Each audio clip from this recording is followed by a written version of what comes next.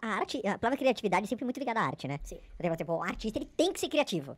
Pelo menos, sei lá, dentro da minha ignorância, eu acho que um artista, ele tem que ter, não sei, o que, que você acha? Tem ou não? Eu acho que Fez uma cara de, pô, Todo- não, eu cara, acho que tá todos têm que ser, porque vê só. Ai, vamos pensar um, um advogado. Não, advogado, pô, tem as leis, não sei o que, não sei o que, tá. Não dá pra criar Mas muito, é ou não dá é, pra A ou criar- B? não, tá, mas na hora que você senta na frente do juiz, um exemplo, ou de um cliente, ou do, do adversário, do outro lado, e tem que falar, quantas possibilidades de verbos tem pra falar pro juiz? Um bilhão. Eu tô aqui, eu tenho que falar uma coisa. Eu posso começar dizendo, juiz, gostaria de contar uma história. Juiz, gostaria. Você pode ir direto pro assunto, você pode começar pelo fim da história, você pode começar falando do réu, você pode começar. Quantas possibilidades tem de apresentar aquela situação pro juiz? A lei é a mesma. Mas as- então, existe um bilhão de formas. Tu pega toda vez, fala do mesmo jeito, vai pelo mesmo raciocínio e segue a cartilha de apresentar um caso, tá usando memorização. Se tu pega e faz, e se eu começar falando, juiz, você por acaso viu aquele filme da Disney? Já começou diferente.